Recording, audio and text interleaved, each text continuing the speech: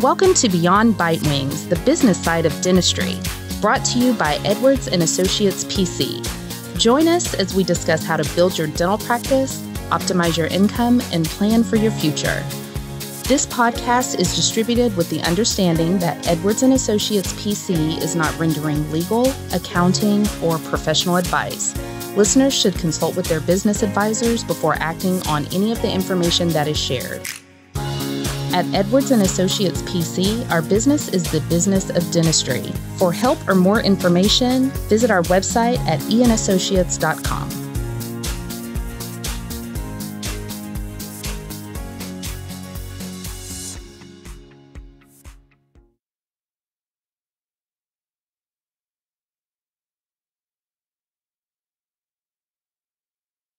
Hello, and welcome to another episode of Beyond Bitewings. In today's episode, we will be talking about conflict resolution.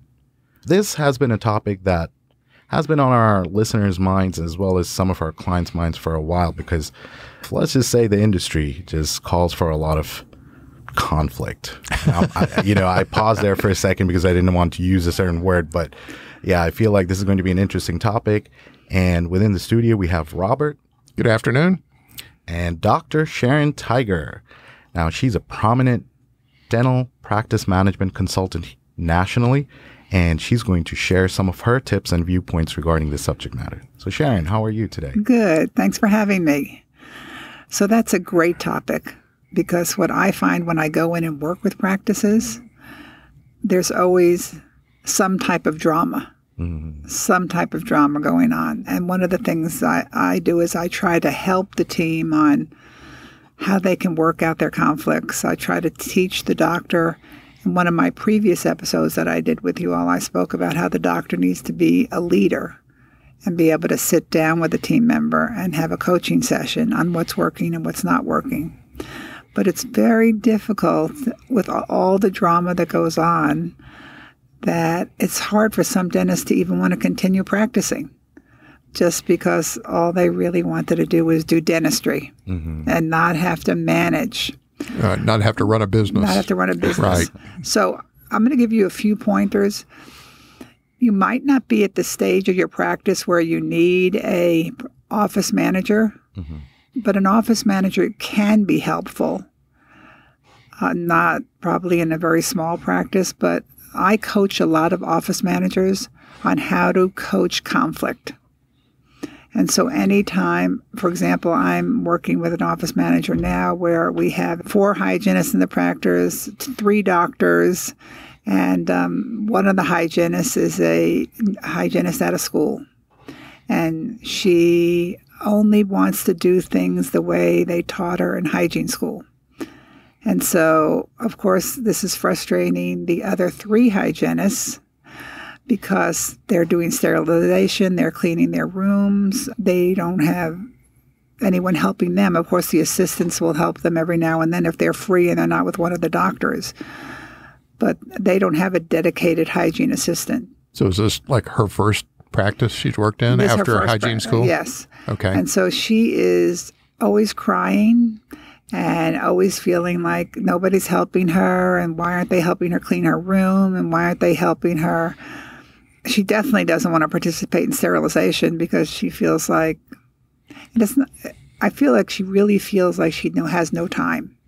But i also feel like she really thinks that she's a little bit above sterilization and just the assistant should take care of that.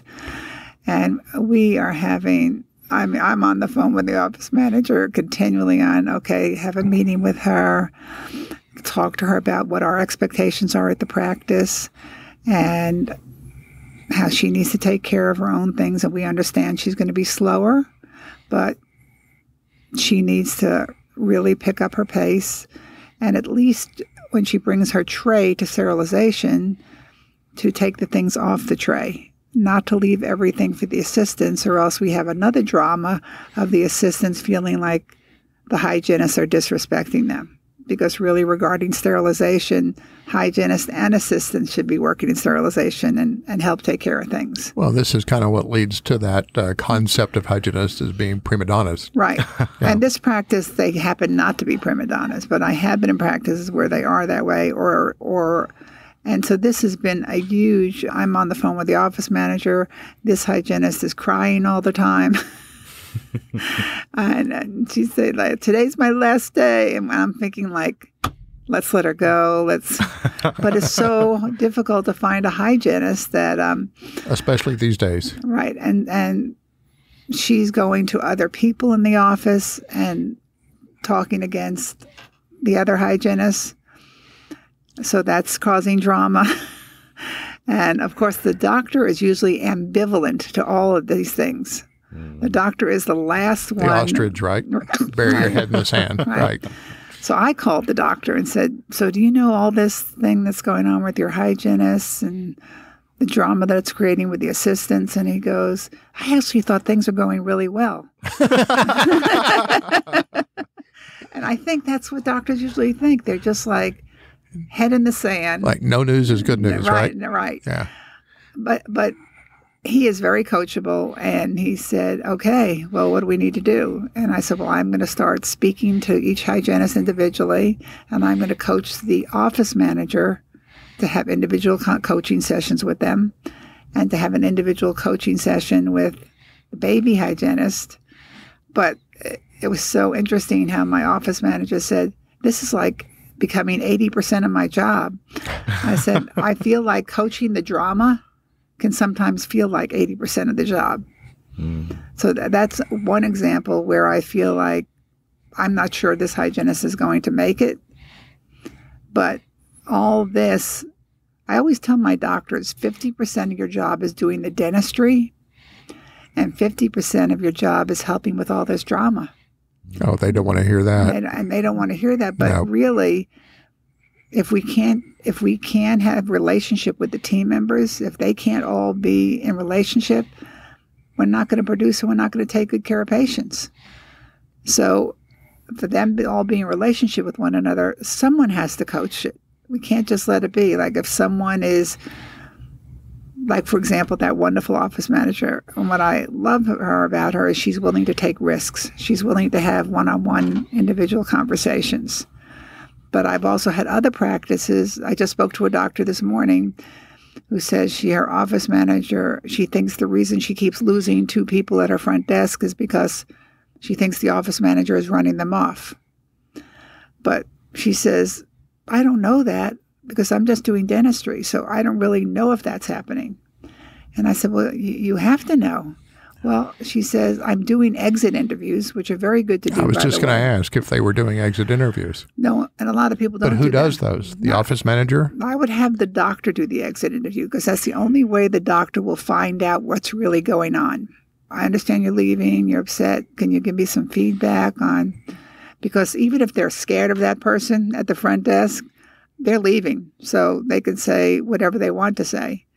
But I, I asked my doctor this morning, well, can you sit down and talk to her about that? That's what you think is happening? Oh, she said, I don't think I can do that.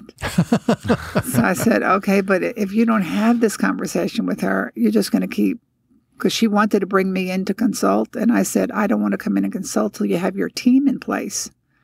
But if two team members keep leaving every 30 to 60 days, to me, there's a problem with the office manager. So have you thought about probably replacing your office manager? Oh no, she's been with me for 15 years. She does everything for me. She knows where everything is. She even helps me with my uh, books and finances. And I just could not lose her. I said, well, then you're just going to keep losing your front office team. But there's that fear of, I don't want to lose that person. So I don't want to have that conflict type conversation. But she absolutely needs to. So I encouraged her to sit down with her and have a conversation on is she being a little bit too hard on the two, the two new people that come in? Or even asking her, why do you think two people are always leaving the front desk? So the doctor really needs to kind of keep the office manager at arm's length rather than getting so close to them that they feel like they can't, absolutely can't do without them. Right. They really need to keep it more at arm's length. They keep them at arm's length, but they also need to support them. But they can definitely, they don't, they shouldn't be like I have examples of doctors who go to the gym with their office manager. Or, uh, and then everyone says, why is the doctor going to the gym with the office manager and she doesn't go to the gym with any of us. I have a great example of a doctor who was working out every morning with her hygienist. And huge drama. uh, until they finally called me, the team. I mean, there, there was so much drama. One person left. And of course, the doctor said, Why didn't someone tell me this? I said, Well, they're not going to tell you to stop working out with that hygienist. But she says, But I really like working out with her. I said, But you cannot work out with her. She has to go at one time and you go at another time because you're the doctor. And there has to be a line, a little bit of a line. I'm not saying they can't be in relationship, but you then you need to go work out with the whole team. That's the solution. Get everybody to work out. Get right? everyone to work out. That's healthy. Yeah. Uh, so, so I think that's interesting. And I've seen male doctors get into really bad situations where they're really good friends with their assistant because they work knee to knee and eye to eye with one another all the time, and they they're close with them. And I've seen it affect marriages, breakups in relationships at home. Well, dentists have a high divorce rate anyway. I mean, it, it's And I've it's a seen fact. it, and I've seen it many times that then the assistant ends up getting divorced, the doctor ends up getting divorced, all out of creating this relationship with the assistant that mm-hmm. was different than any of the other relationships, which you can't be. You can have relationships. I guess my big golden answer is you can't have a relationship with one person that's different than all the they can be different but they can't be stronger it can't be that you have this strong relationship with this assistant and not have that same strong relationship it could be other types of relationships but not the type of closeness that makes the other team members ask questions I see. So there cannot be any bias or partial Right. towards any one specific employee. Right. And I hear that a lot. I hear that sometimes when a, a team member picks me up at the airport before I go to a brand new consult, I send out questionnaires ahead of time saying what's working and what's not working. And you would be shocked the things they tell me, and they don't even know me, but they write them on the sheets because they're desperate for it to be taken care of. And, So- and it's anonymous, right? It's anonymous. Yeah. So, so, so they it's open like up. Doctor having affair with hygienist, hygienist or assistant having affair with doctor, or office manager somehow ta taking money from the front desk. When, when patient pays in cash, mm-hmm. they've seen the office manager somehow pocket that and somehow adjust it in the computer. Mm-hmm. But they didn't tell the doctor. No one went and told the doctor, and no one told anyone. So they tell the consultant. They don't tell the doctor. well, you, you know, you would like them, and, and sometimes people leave over these things, and the doctor didn't even know why Yeah. they left. Yeah. So th- this conflict, I think the biggest thing is it always has to be addressed. We always have to address conflict in the office.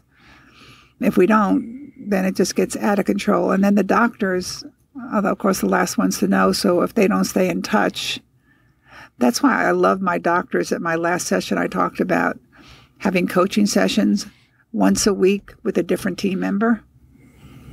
Because I will tell you, they'll tell the doctor in the coaching session things that he didn't even know was going on, just because they're feeling that bond that they can talk. Even if they have eight team members and they only get to them once every eighth week, they're still getting to find out information. And we and there's always I always tell my doctors there is always going to be drama. There may be a few weeks with no drama, but there's always going to be some type of drama. I've had drama just recently in a practice where there were four assistants, and all of them, all of them, decided to leave the walk out. Wow. Just decided to walk out because they felt like the doctor was favoring the hygienists and not treating them fairly. Well, kind of like going on strike. Right. Yeah. That's what it sounds like.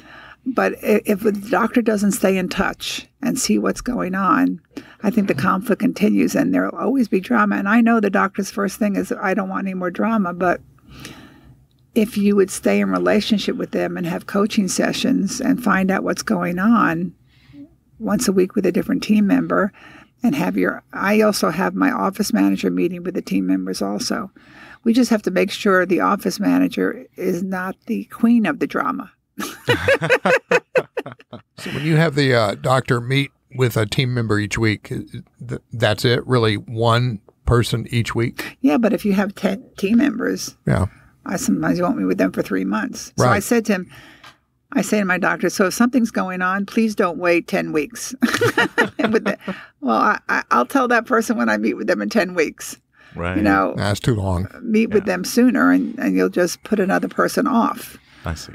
But the dramas that happen are just. I had to um, fly down to Seattle to fire a front desk person because my doctor was scared of the hygienist, Wow. or the front desk person, excuse me. And so I said, Well, we're going to do it together. First of all, you really don't need me to fly down to do this. We could do it on the phone. I'll be on the phone. But she was really scared of this front desk person. So I flew down there and we both fired her together and let her go. So how'd that go? Did it go as according to plan? No, what happened is just what the doctor thought would happen. She got really hysterical and really confrontational. Hmm. And I almost thought that she was going to hit the doctor. Oh. But she stood up and it looked like, but that didn't happen Okay. because Thank I goodness. said, okay, well, I said, you need to pack up your stuff. Because what I like the doctor to say is nothing. Like, this isn't working. And so today's your last day. And I'd like them to do that at the end of the day, at the end of the week. So when they do something like that, do you suggest that they consult with a, an employment attorney first? Well, Texas is an at will state. So, But not all of our clients and not all of our listeners are in Texas. right. Well, the ones that are not at will states, they definitely should consult someone like uh, Bent Ericksen. I don't know if you refer them at all. We do. They're out of uh, Oregon, I believe. Yeah, Bent Ericus, Ericksen and Associates, and you can find that out from Robert's office or look them up online. They um, have attorneys for every state, and they charge you uh, per a certain period of time for every 15 minutes. They're very reasonable, and you can call up and say, "Okay, here's what happens. I'm having this. What do you suggest?" They are a great resource. And I think they just take individual questions too. Right, so if you have a question like that, you ask them, you get billed a couple hundred bucks, and it's well worth it Well to worth it. yourself. especially if you have someone who's 55 or 60 or 65 and you're hesitant to let them go because of age discrimination, that's another reason to call Ben Ericksen. And that's another conflict that, that causes in the office, or someone feels like this Uh, 75 year old insurance person that it, it's time for her to leave, not because she's 75, but because she's just not doing her job well anymore. I don't care if they're 80, as long as they're doing their job well. And I feel like those are conversations you need to have with Bent Ericksen so that you do it the right way and they will really guide you and send you the paperwork you need to make it legal. I see. Okay, you- good. You Good just have to be very careful that when you say something, you say, this just is not working, and not go into all the reasons why that they can come back and sue you on. Because reasons can always be challenged, but if you just say it's not working, It's just not working. Just it's not working. Just not working. Well, what's not Yeah. working? It's just not working. Today's your last day, so I need you to go It's get not your working. stuff. This situation's not working. Right, this situation is not working, and so you need to get your stuff. And today will be your last day, and I have your check for you. I see. So, conflicts that happen within the office, from what I'm hearing, is that it's important for either the owner or the office manager to maintain a good relationship with all the staff there, Right, be responsible for coaching them coaching them on a one on one basis on a regular basis. Right, and also on a regular basis. And that will help strengthen the relationship. Also, have a platform where one another can have a better understanding. And and once you have those relationships, it's not so hard to go. I tell my doctors it's not so hard to approach them after you've been meeting with them regularly. It doesn't Right. become so scary because we've all been meeting regularly. Right, right, right, right. I also think it's good to give the personality test to the team. Oh, absolutely. Yeah. So they there's DISC, DISC. There's many personality tests you can Mm-hmm. find online. So the team can learn about each other's styles and see why that person is that way. And so you know better how to deal with those Yeah. people based on their styles. and it shows you how to communicate with those people. I see. Not necessarily that every team member will follow that, but I tell you, I think it's an aha moment for some of them when they take that test. I So I think that helps with a lot of conflict resolution. I see. Okay. And so so it's not culture index, it's more your Your traditional test, Traditional Myers. Briggs, and I Right. the others. Yes, and we actually had an episode earlier where someone talks more about these personality tests and how it could be useful when running a practice. The the specific one that she was talking about was interesting and something uh, to do with animals. Let's just put it that way. Yeah, I can't exactly remember the four animals, but it was uh, lions and tigers and Beavers. beavers and something else. right but great information there and so yeah no that definitely helps and you know but if we don't maintain those ongoing relationships and conversations, we can never lessen the drama. right right I have a personality test that I use if anyone wants to email me about that, where it's driver, expressive, pleaser, and analytic. They, they take this test and they figure out by the scores which they are. And sometimes they're a combination the driver, which is the strong personality, the expressive, which is a little social butterfly who loves to talk to everyone. The pleaser is Wants just to be wants everybody's everyone to get it, wants to be everyone's friend. Everyone the pleasers are dangerous because if they're upset, they're just going to leave. They won't tell anyone. They won't tell you what's wrong because they just want everyone to get along. i see And their analytic is your real detailed person. Just leave me alone. Let me uh, look at my numbers, Let me right? look at my numbers, like right. Most, most accountants, right? But I do feel the more you can do with communication exercises, with team building exercises, I have a lot of my doctors who quarterly take a half a day off so they feel like they're getting paid, or three hours off so they feel like they're getting paid for it, and do some kind of team building. Whether it's, what's that house called? What's it called when you're all trying to solve the problem? Escape room. Escape rooms. Yeah, hmm. Escape rooms are great. I just had an office that just did escape rooms. because they have to work together to Right. solve the problem. right right right there's so many different type of team building things if you go on google that you can do and i think once a quarter taking the three hours off is worth it to keep those relationships in place And better relationships help increase productivity. And decrease drama i was just going to say that decreased drama right Yeah, the best of both worlds.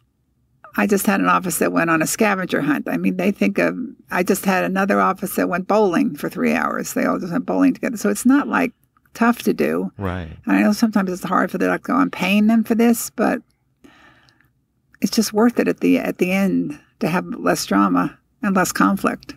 Right right right and higher productivity. Right, and higher productivity. That's the- Absolutely. that's the analytic talking. well, thanks for the information. That was great information today. We appreciate you being here. I love coming back. oh yes it's always a pleasure having you here dr tiger Okay. now if you would like to share your contact information with the And, listeners and so my email is tx tiger, T I G E R, the number two, at gmail.com. If you want to get the personality test that I use, which is called Behavior Styles, or any other information about coaching questions.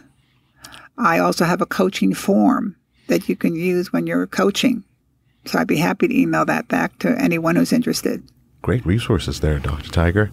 And for all you listeners out there, if you guys need to get in touch with us about a specific subject matter or just to talk more about the topic that we covered today, please reach us at info at eandassociates.com and that and is spelled out A and D. Thank you for being with us here today. Thanks for having me. Absolutely, always. Thank you. Thanks, Ash. Thank you.